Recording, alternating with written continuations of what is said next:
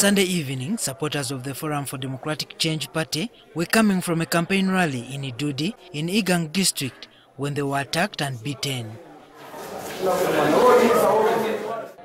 The supporters had been in Idudi to canvass for votes for Mariam Nantale, the FDC candidate for the woman MP by-election in Iganga district. They alleged that they were attacked and severely beaten by NRM supporters who ambushed them at Busei village near Iganga town. Five of them are now receiving treatment for major injuries at Iganga hospital.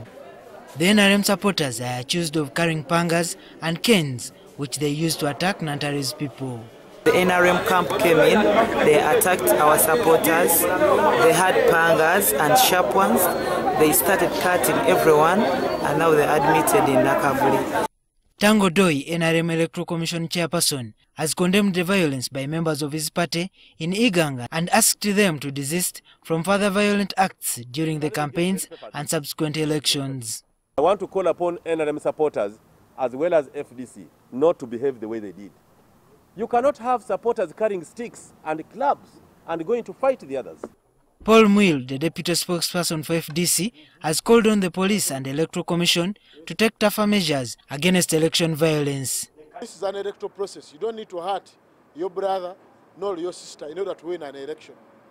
So we condemn in the strongest terms possible the acts of violence which was meted on our supporters and we call upon the Uganda police, we call upon the electoral commission to rein in and stop such types of actions of violence. FDC supporters have accused police of being partisan because they allegedly looked on as they were being beaten.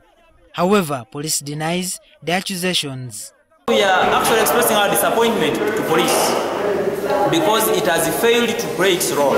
It's becoming a partisan. As police, we are there to offer safe environment for every candidate, for every supporter. We don't belong to any party.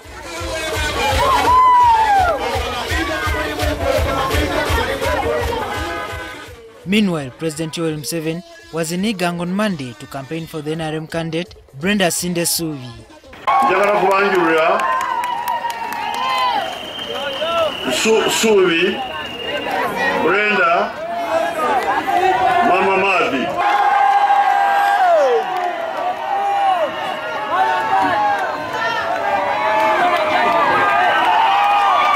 The by-election for Igang Woman MP will be held on the 14th of this month, with the main competitors being Brenda Subi of NRM and FDC's Mariam Nantali. This by-election follows the death of the previous woman MP of Igang, Harriet Kauda, who passed away in July. Juma Kiria, NTV.